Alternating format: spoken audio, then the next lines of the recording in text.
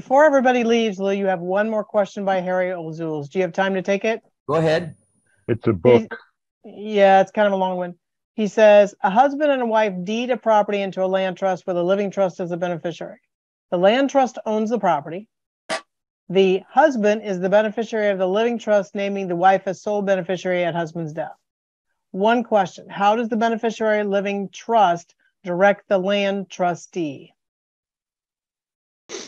The trustee of the living trust tells the land trust trustee what to do.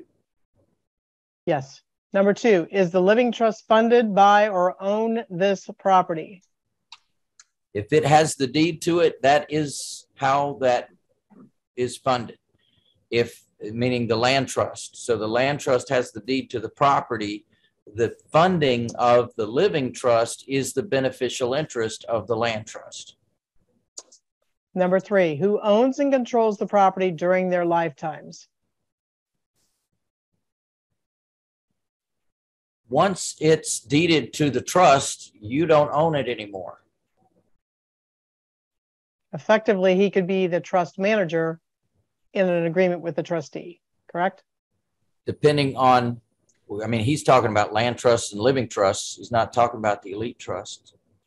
Yeah, this was a question about who owns and controls the property during their lifetimes.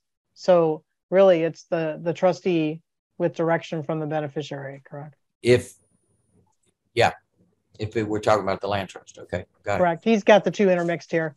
Uh, last question Does a living trust hold any assets during their lifetimes, or does it act as a funnel to distribute any assets in different trusts that have named the living trust as beneficiary to their heirs? I think he Yes. needs a trust class. He, he was at the trust class. That's Oh. why I'm answering these questions.